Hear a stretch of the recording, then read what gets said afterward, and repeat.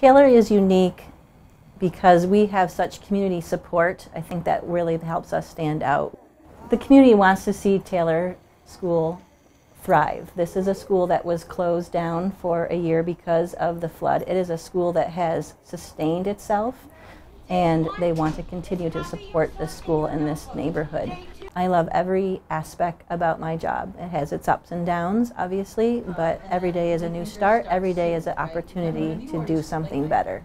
I love the energy and the busyness. I love seeing the kids that they want to share their stories, what I, they've done, their pictures, their work. They want to show off for you and they want to give hugs. That is the best time. I love greeting the kids in the morning. If I miss that, I feel like I've you know, missed my dose of happiness for the day.